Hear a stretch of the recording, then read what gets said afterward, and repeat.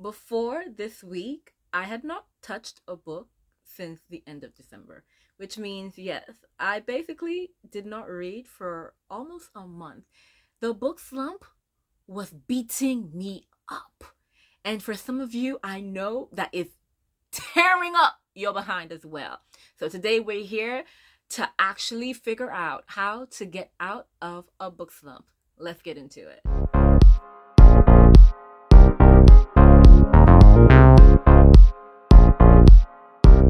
Guys, welcome to my channel. If you are new, my name is Shelley. I of course love books, but you really wouldn't know that over the last few weeks because I've not touched a book. This week has been my saving grace. I have finally been able to just immerse myself in a book and it was beautiful. But I am not the only one who gets into these slumps that basically terrifies me because I love reading, you know? It's my way of escape. It's my way to just calm down when the world is chaotic. It is one of the things that brings me joy and peace. Yet I could not, for the life of me, pick up a book. And if you are in this space right now, believe me, I sympathize with you. Like, I, believe me, I feel for you. And I don't want you to suffer any longer in the way that I was suffering so let's get into some ways that you can get out of a book slump. Guys, this list is not exhaustive. It doesn't work for everyone, but these are tips that have worked for me, and I am praying that it works out for you because if you love to read, then the worst thing is to be in a slump, okay? Now, first, before we even get into that, let's actually try to reason out why slumps occur.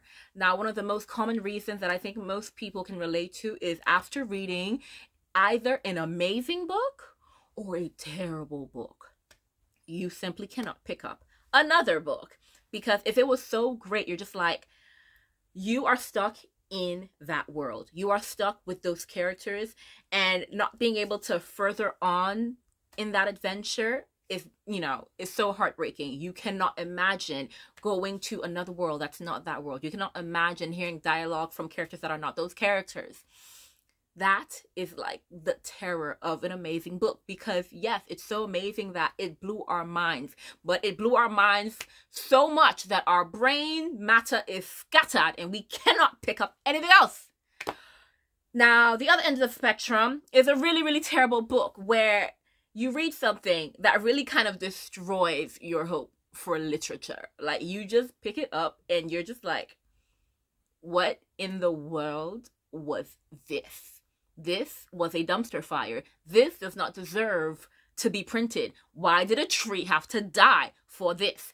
Yes, that is the other other side of the spectrum. It's either it was really good or really, really bad. That's usually for most people what gets them into a book slump. Now, let's really get into how to get out of it because those are like that is the main reason that someone can get into a book slump. There are definitely more reasons, but usually it's one of those two.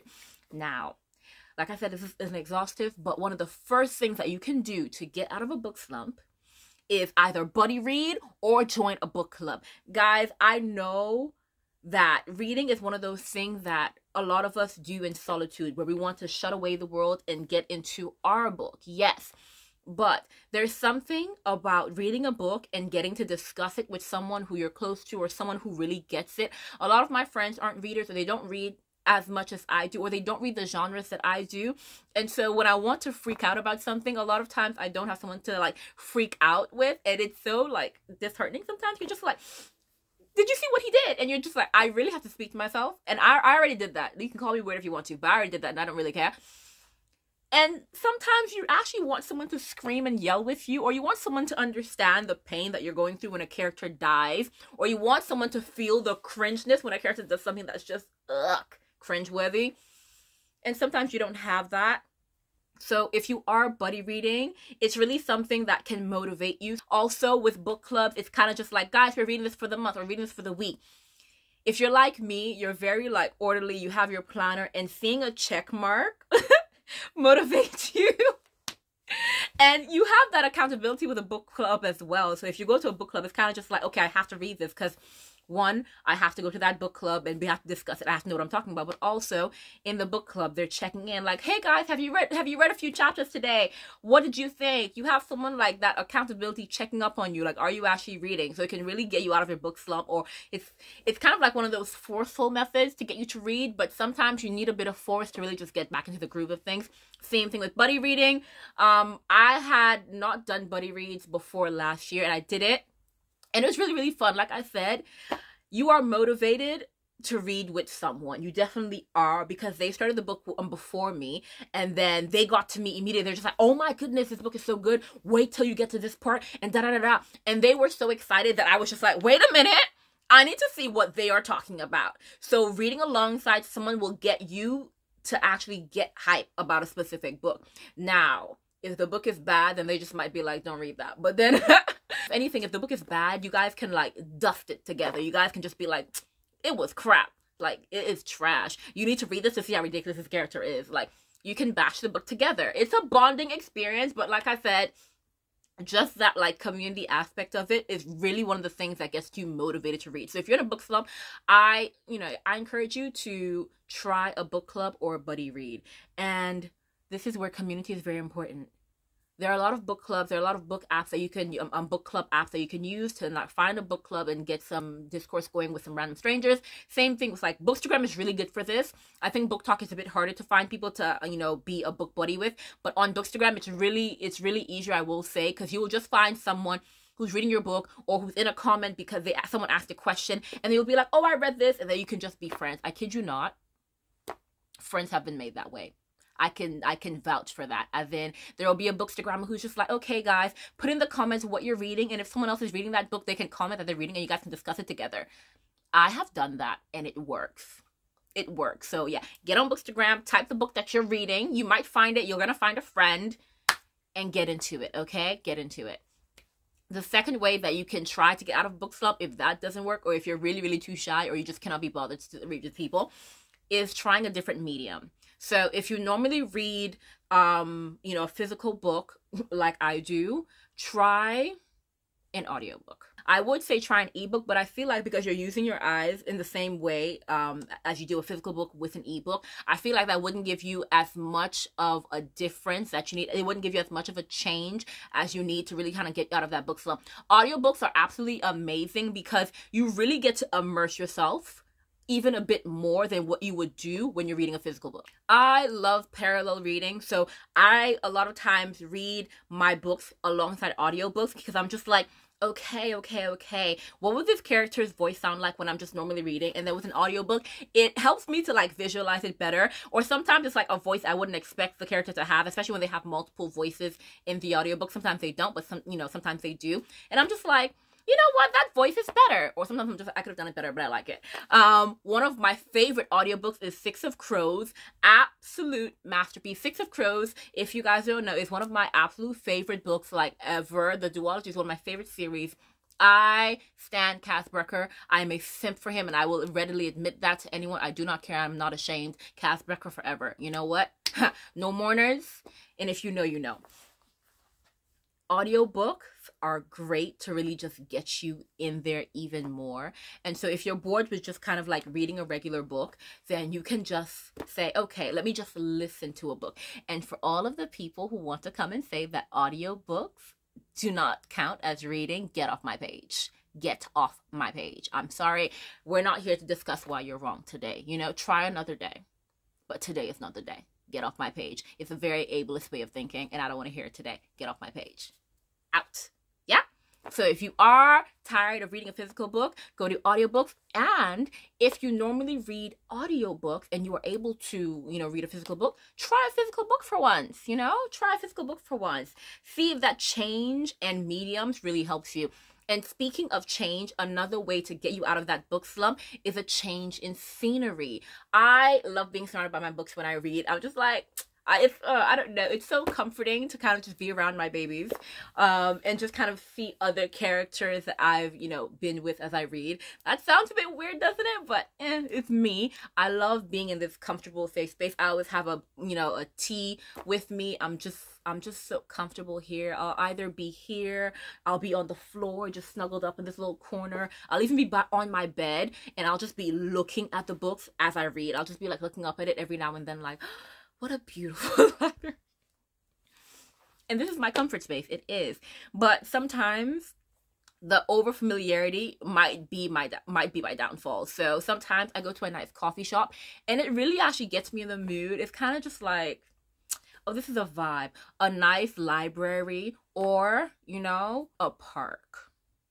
I can't vouch for that. I've not really read in a park. I'm not I don't, yeah, I can't vouch for that, but I've seen people reading in a park. They seem like they enjoy it. I'm sure it's fun. I personally can't vouch for it. Um, I don't like being around people, and most parks are full of them. So personally i can't vouch for that um, a bookstore is another alternative because you can still be surrounded by books i love reading in bookstores i absolutely love it because i will go to waterstones which is if you are you know in the us waterstones is basically our Barnes and Noble. Yeah, it's basically our version of it. Um, I love going there and seeing a book that I'm just like, oh, this book seems fun. But you know, sometimes you're just like, let me give it a try before I buy, you know? Try before you buy is absolutely the greatest thing to do. And sometimes I am a bit cheeky with it. I'll try before I buy, and then I'll buy and I'll stay and I'll just read it anyway. Like, and I love that Waterstones allows it. They have a cafe in the Arndale one. If you are in Manchester, then you know what I'm on about. They have a cafe where they just allow it because they know that we we just love it. So if you are looking for change, either change your medium or change your space.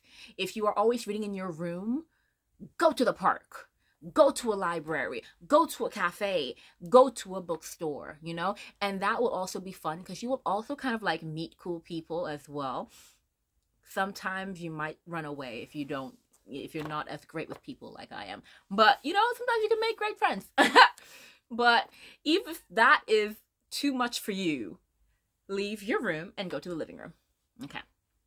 If you're really gonna be a lot shy, leave your room. Leave your room and go to the living room. Leave the living room and come to your room. Like just change the scenery. Like it will really kind of help you to just rejig your mind, give your mind a bit of a break from what it's used to seeing, and then kind of just like wake it up because sometimes your mind is just like, I'm tired.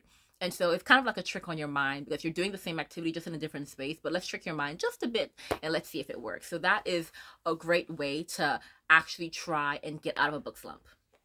Now, another like thing that I think is brilliant for getting out of a book slump, and this got me out of a book slump last year, is trying a different genre.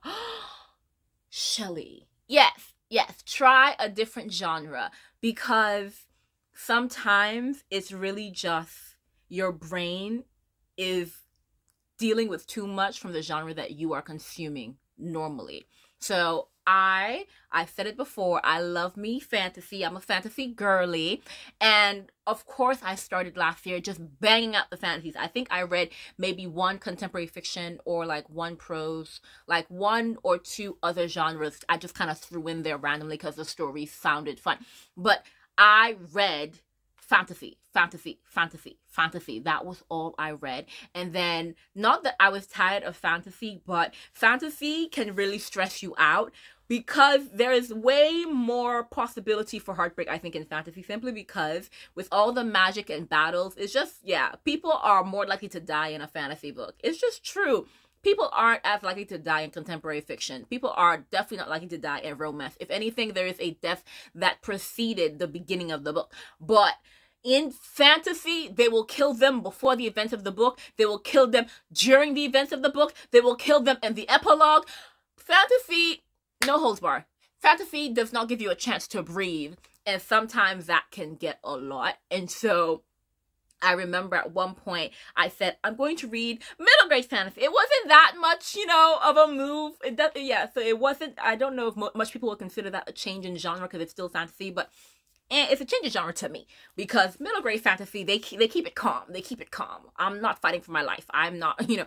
I mean, I am, but there's a lot less risk of murder, you know? So I love me a little middle grade fantasy and I really got into it and I really appreciate that I did because it gave me a break from the chaos of, you know, YA and adult fantasy. And it just introduced me to a whole new world of fantasy that I absolutely love. And I'm just like, wow, I should definitely be reading more. And I, I started reading more. But then, even then, it was still fantasy, yes and at one point, like I said, all the magic and the world building that can really just overload your brain because, guys, you know, if you are a fantasy reader, you know, getting the magic system, getting the names, the, getting the language, getting all of those details in one brain. Hmm. Especially in the first book of a series. Hmm. It's a struggle. It's a struggle it's a struggle. Okay. So at one point, I got to a point where I was just like in this insane book slump. And I read like a few more fantasies that really were amazing. But then I was just like, yeah, I don't know if this helped me or hurt me because I am still not in the mood to really read as much as I'm used to reading. And so I switched it up completely. Like it was a shift. And that's when I picked up my first thriller. And if you've watched all of my past videos, you know that towards the end of last year, I mostly read thrillers and I banged them out. I was reading at the pace of, you know, a crazy person sometimes. Like, I read 15 books in December of last year, and I believe like 13, wait, nah, maybe like 10 were thrillers, just about, maybe. But from the end of summer, just about, I was just reading thrillers and I loved it so much to the point that now I'm not just a fantasy girly. I am also a thriller girly. I am in love and I'm always not just looking for new fantasies to buy and read, but I'm always looking for new thrillers. There's something new coming out. Like what like what is this storyline? Is it gonna have me clutching my chest? I love thrillers now, and it really got me out of that slump because I was reading every day again. It was just, it was a whole new type of reading. It was a whole new way of thinking as well. Because with a fantasy book, you think in a certain way. You're just like, okay, I know that action is meant to happen. I know that this is meant to happen. But with thrillers, my mindset had changed because now I'm in this headspace of I'm trying to figure out who's the murderer. I'm trying to figure out if we're going to have another murder. I'm trying to figure out what the next step is, who who's tricking us, who's being honest. My mindset changed and so it was a new exciting journey for me. So it was almost like I'm just getting into reading again. Like when you're when you just pick up a book for like the first time as like a person who is, you know, picking it up as a hobby and not like as homework for school.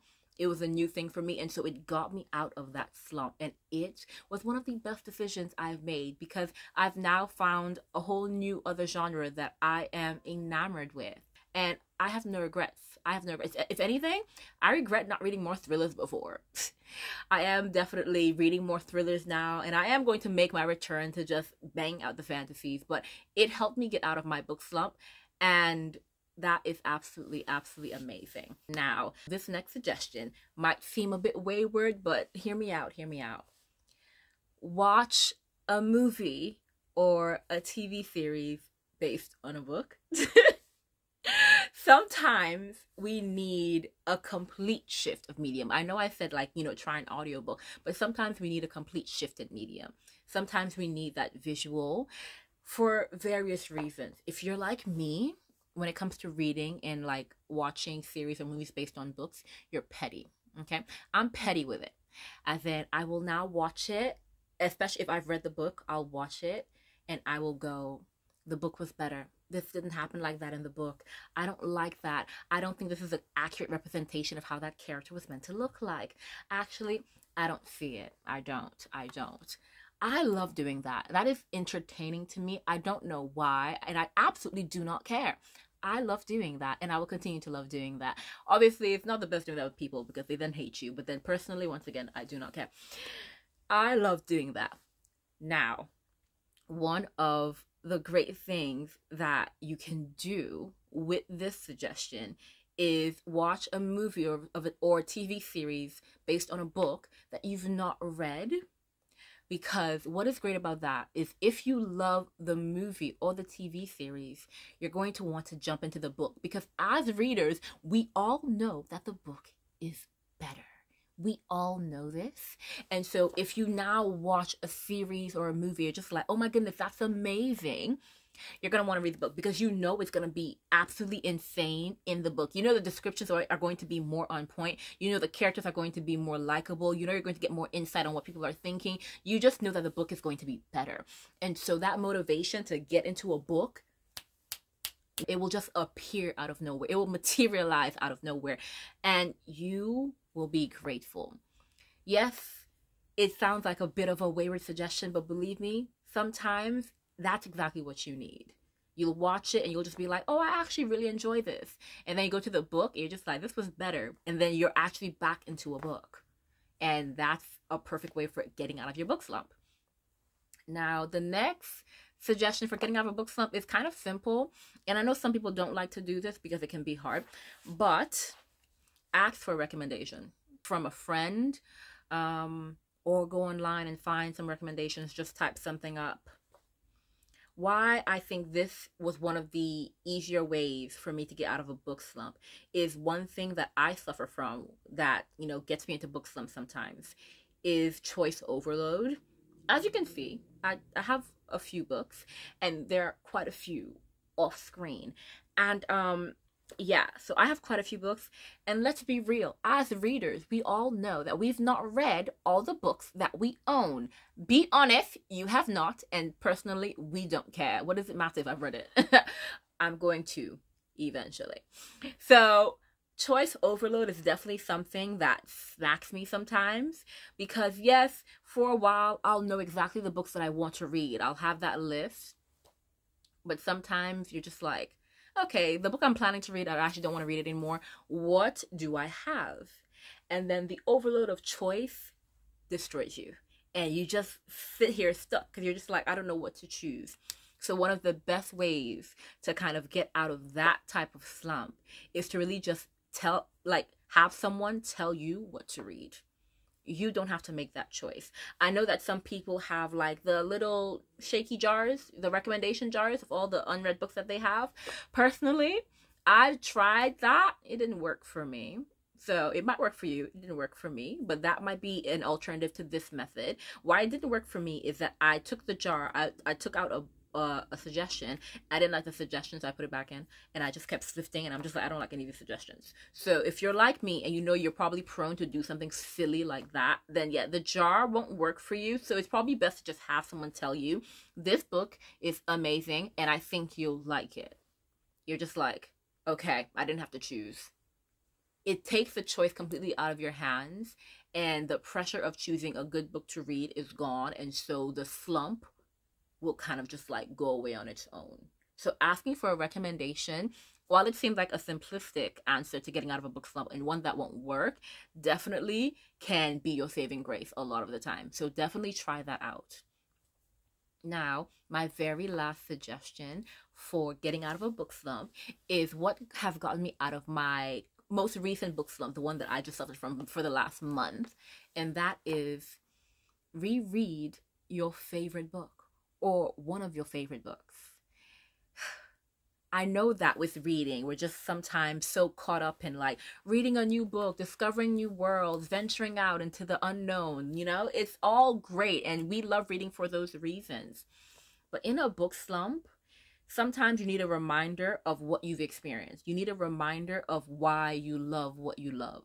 Why do I love reading? Why do I love reading fantasies? Like, for example, I for the last few months of last year, I was reading quite a lot of thrillers, and it got to the point where I was feel I was like I was slumpish when it came to fantasy books. I had so many fantasy books in the lineup, and I'm just like, oh, let me pick this one up, and then I picked it up, and I'm just like, not in the mood. Immediately, I've gotten out of the mood, and then I found a cool thriller, and I'm just like, yay, yay, yay, yay, and I'm just like, oh my goodness I really hope I don't fall out of love with fantasy because I do love fantasy and I knew that I love fantasy, but for some reason I couldn't convince my brain that I love fantasy whenever I picked up a fantasy book.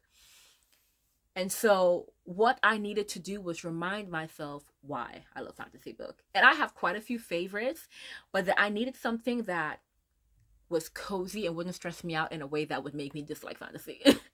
and so I picked up one of my absolute favorite series and that is Under the Oak Tree. I'm going to put you guys on. That is a romantasy. Yes, yes, yes. romantasy, one of the few series that have ma- that have made me reconsider romance and books, romance and fantasy books especially, Under the Oak Tree. Now I know some people, if you're an anime lover or a manga lover like me, they're just like, oh, that's a webtoon. No, it is a webtoon, yes, but it started out as an actual book. You can get it on Kindle. They have, I believe, 10 books now. And obviously, the webtoon, kind of just shows us as things are going in. The book obviously gives us way more details, so you're experiencing so much. And obviously, the webtoon is only on, like, I believe, 90 something chapters. We are on 10 books. So many things. If you do read Under the Oak Tree, let me tell you now, if you read the webtoon, the book is so far ahead. So many monumental things have happened. You don't understand. You are gonna be shocked if you if you enjoy the webtoon and you haven't read the book. Whoa, so many things happen. You're going to be shocked. If you've not touched it at all, read the book first. Read the book first, then get into your webtoon because the webtoon will help you with those visuals. We love to see our books come to life, not in series because they mess it up a lot of the times, but in a webtoon, it's valid. That book, my comfort read. So I, I kid you not, spent hours just rereading one of my favorite books in the series because it's a 10 book series. Um, even though there are two new books um, that I have not read in the series yet. I was meant to read um, book nine, but then I that was when I was steering away from fantasy. So I was just like, uh, let me just take a pause. So I hadn't read it. And then in that break, book 10 came out and I wasn't even aware of it. But then what I did, instead of reading those new books in the series, because I knew I still am not in a space to really, one, read at all, and two, read fantasy, I said, yeah, I'm not going to do that to myself. I read one of my favorite books in the series. And the way I spent hours, hours, I kid you not, just in that book, just reading and enjoying and smiling and giggling and just reliving the great memories that it gave me. And I was just like, I was so excited to continue reading. One, I'm going to continue reading that series. Yes, I can finish the series up to the point because I, I believe that they have more coming up. Um, but also, I'm excited to get back into fantasy because of it. I'm just like, oh my goodness, so much fun. But rereading your favorite or one of your favorite series, it just reawakens your love for your reading and you're just like, oh my goodness, I remember how much fun I had reading this book, and I'm ready to get into either this book again or a new one. And there's nothing wrong with rereading, guys. We don't need to just bang out books to, you know, get statistics out of there. Let's let's get let's get away from that mindset. We read because we enjoy it. We read because we're in love with the worlds and the characters. We read because it's it's peace to us. It's just amazing serenity. That's why we read. So if we're rereading the same book over and over and over again, that's completely fine. And you need that sometimes, especially when you're getting out of a book slump. So I want you guys, if you are in a bad book slump or even a small book slump, to try any of these tips. Just really just go through it and whichever one works for you works for you. And I really do hope that one of them works for you. But believe me, I've tried and tested out these tips and they've worked out for me in various different book slumps, book slump seasons in my life as well. So truly, I'm excited for you to get out of your book slump that I have as well and just really enjoy yeah, enjoy reading like you used to. Yeah, so I really hope that you've enjoyed this video. I hope that you get out of your book slump. Do let me know if you are out because I'll be so happy to know that I helped like at least one person at least uh yeah and that's just going to be so fun. So until next time guys i will see you soon. Be sure to like comment share and if you haven't already subscribe. Bye guys